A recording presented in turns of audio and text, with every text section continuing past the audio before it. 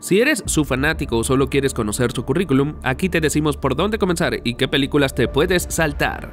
Estos son los filmes del visionario director Zack Snyder clasificados de peor a mejor. Sucker Punch, Mundo Surreal, trata sobre una joven internada en un manicomio por su padrastro, quien lidia con su encierro imaginando fantasías para escapar de su realidad. Fue la primera película que Snyder dirigió con un concepto original, y parece que aprendió la lección de no volver a hacer eso jamás. Los críticos tuvieron problemas con ella, incluidos sus personajes femeninos sobreexplotados y el complicado desorden de la trama. El crítico de cine Richard Roper resumió los sentimientos de muchos calificándola como un lío indescifrable e hipócrita que demuestra que se puede llenar una película con mujeres semidesnudas y armas, pero que puede aburrir hasta dormirnos. Soccer Punch suele compararse desfavorablemente con Inception de Christopher Nolan, que llegó a los cines un año antes. Ambos son thrillers de ciencia ficción que cuentan historias de realidades dentro de otras.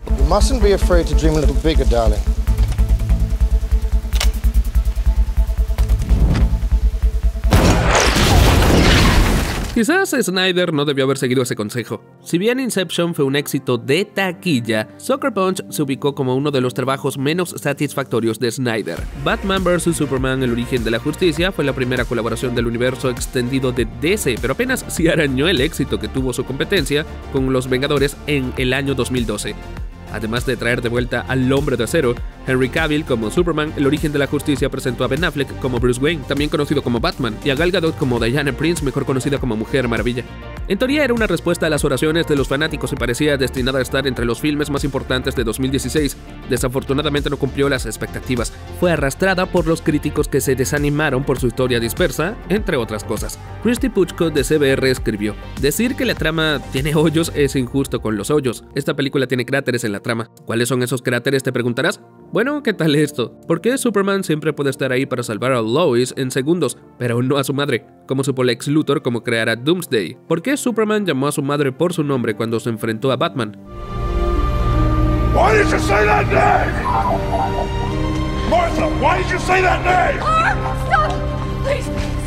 Queda bastante claro, y si la viste, probablemente puedas señalar varias inconsistencias. Además de los problemas de la trama, quienes la reseñaron estuvieron de acuerdo en que estaba sobresaturada y llena de 45 minutos de contenido innecesario.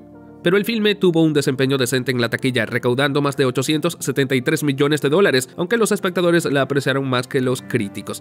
Basada en los libros de los guardianes de Gohul, Gohul, la leyenda de los guardianes de 2010 marca el primero y hasta hoy el último intento de Snyder de hacer una película animada. Con respecto al elenco tuvo un comienzo bastante sólido.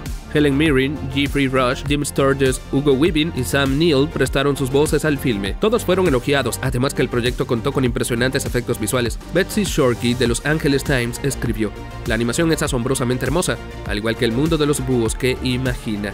Las batallas son complejas, y como es usual con Snyder tiene mucha acción. Si bien varios críticos estuvieron de acuerdo en que la leyenda de los guardianes era una obra de arte, señalaron problemas en la película, principalmente que su historia era demasiado oscura para los niños a quienes debía entretener. La incursión de Zack Snyder en lo que sería el universo extendido de DC llegó con El Hombre de Acero de 2013, donde también debutó Henry Cavill como Superman. Este fue el regreso del superhéroe tras una larga pausa pero la ausencia no hizo que los críticos se ablandaran y manifestaron opiniones contrarias. Algunos argumentaron que la interpretación de Cavill carecía de emoción, mientras que otros dijeron que el romance entre Clark Kent y Lois Lane era aburrido y poco convincente. La mayoría de las críticas señalaron que fue un esfuerzo decente, aunque insuficiente. Un caso clásico de algo que pudo ser excelente con ciertos cambios. Hay mucho genial en esta película frenética y ruidosa de Snyder, pero cuando llegamos a los excesos de la última media hora es difícil deshacerse de la sensación de que esta fue una oportunidad, al menos parcialmente desperdiciada. El segundo trabajo de dirección de Snyder fue 300 de 2006, una adaptación de la novela homónima de Frank Miller. Una versión de la batalla de las Termopilas 300 es una obra maestra visual, y eso va más allá del físico de Gerard Butler. Los críticos fueron mayoritariamente buenos con 300, y elogiaron a Snyder por esas escenas deslumbrantes, así como a Butler como Leónidas. Algunos, por otro lado, como Roger Ebert de Chicago Sun-Times, pensaron que la adaptación era solo una película de acción machista, como él lo expresó. 300 tiene caricaturas unidimensionales que hablan como estrellas de lucha libre antes de pelear. La película no se tomó muy en serio, y algo bueno, ya que 300 nunca tuvo la intención de ser históricamente precisa. Otros críticos entendieron eso y aceptaron 300 por lo que era. This is Sparta! Paul Arendt de la BBC, por ejemplo, argumentó que si entendemos que es un mito griego mezclado con los Looney Tunes, es una especie de obra maestra. La película fue un gran éxito en la taquilla mundial, recaudando más de 456 millones de dólares, y ejemplificó el tipo de espectáculo hiper estilizado que Snyder ofrecería en los años siguientes. La adaptación de Watchmen de Zack Snyder en 2009, basada en las historietas de DC Comics de los 80, cuenta con un elenco estelar que interpreta a un grupo de superhéroes retirados que resurgen tras la muerte de uno de ellos. Otra obra maestra visual de Snyder generó elogios de los críticos, impresionados por su capacidad para capturar la estética de los cómics y llevarla a la pantalla. Matthew Rosa de Salón escribió después del estreno de la película. Cuando se le da una gran historia y se le dice que su trabajo es simplemente adaptarla, Snyder es más que capaz de hacerlo. Kit Peps de AV Club dijo, Watchmen merece crédito por mantenerse fiel a los personajes, la trama hasta cierto punto y el respeto al material original mientras genera su propia energía, aunque esa energía a veces se siente mal aplicada y sobrecargada.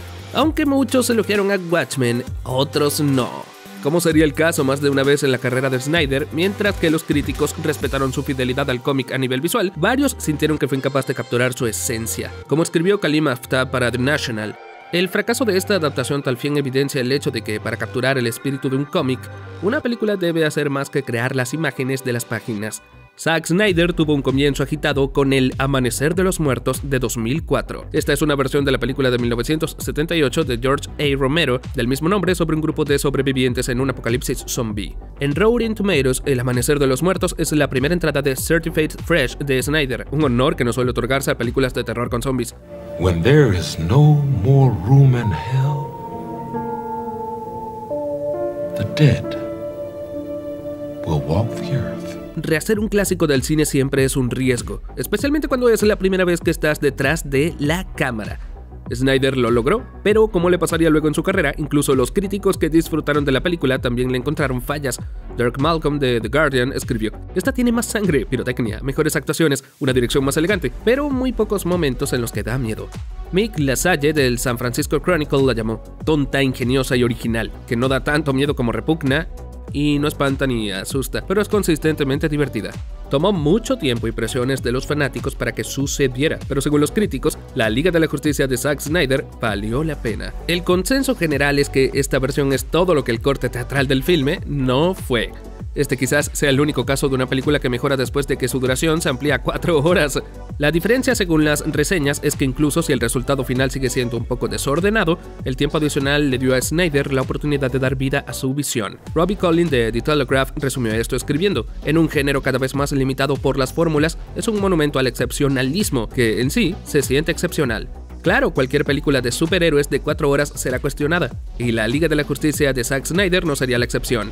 Aunque la mayoría de críticos la calificó como mejor respecto al original, muchos se centraron en sus defectos. Hannah Woodhead de Little White Lies señaló que la película era demasiado larga y tediosa, y agregó que, citamos, no es nada más que el potencial de los fanáticos para influir en la toma de decisiones creativas. Aún así, esta es una película que Snyder hizo para los fanáticos tanto como la hizo para él, y en ambos frentes el consenso es que cumplió. Mira otro de nuestros videos aquí. Además pronto tendremos más contenido sobre tus películas favoritas muy pronto. Suscríbete y activa las notificaciones para que no te pierdas de nada.